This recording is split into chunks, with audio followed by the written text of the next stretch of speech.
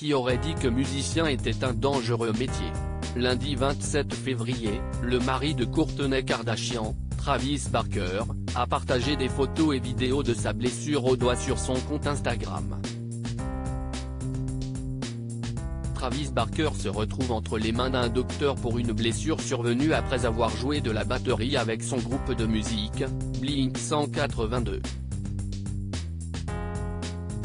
Cette blessure inquiète les fans de Blink 182 car dans moins d'un mois, ces derniers démarrent une tournée d'un an avec des concerts prévus en Amérique du Sud, Amérique du Nord, Europe et Australie.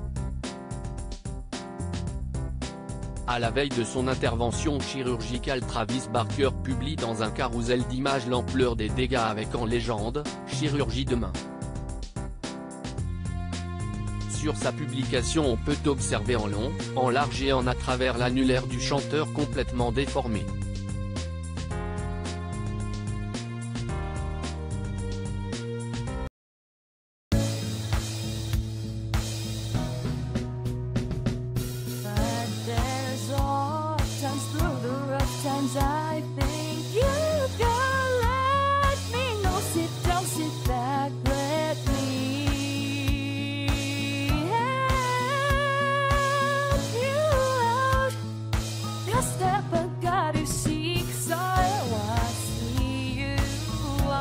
占有。